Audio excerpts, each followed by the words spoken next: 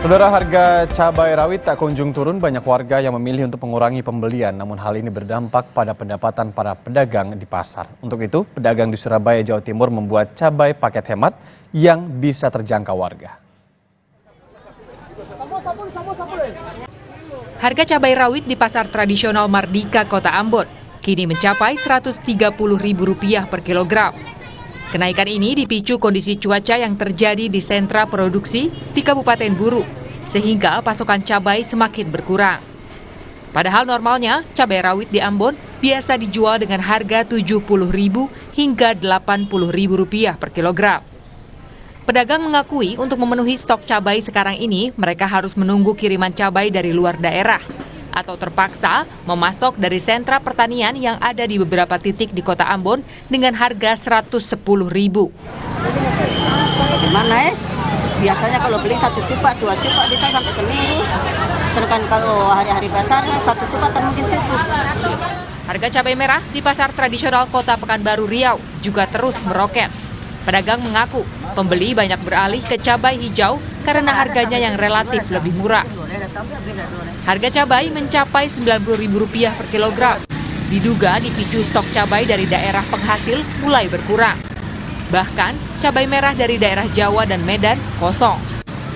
Pedagang mengaku jumlah pembeli menurun hingga 20 persen. Pembeli juga banyak yang beralih ke cabai hijau karena harganya lebih murah, yakni Rp40.000 per kilogram. Nah ini kalau yang harga ini minggu inilah baru yang 90-80 ini. Kalau dari yang kemarin 70-an dari minggu yang lalu. Ini naik, terus jumlah pembeli gimana Bu? Pembeli agak berkurang dari yang biasanya karena terlalu mahal. Banyak orang pindah ke cabai hijau. Sedangkan di Surabaya, Jawa Timur, pedagang mulai menyiasati harga cabai rawit yang mahal dengan menjual cabai eceran yang dikemas dalam plastik rentengan.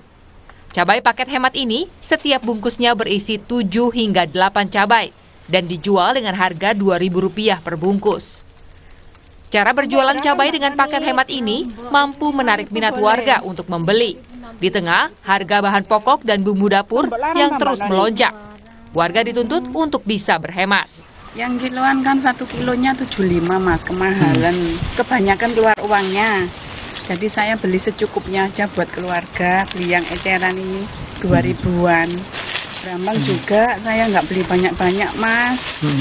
Belanjanya cuma sedikit dari suami, jadi belinya cuma 5000 Para pedagang memprediksi kenaikan harga cabai rawit masih akan terus terjadi, mengingat stok cabai semakin berkurang. Tim Liputan, Kompas TV.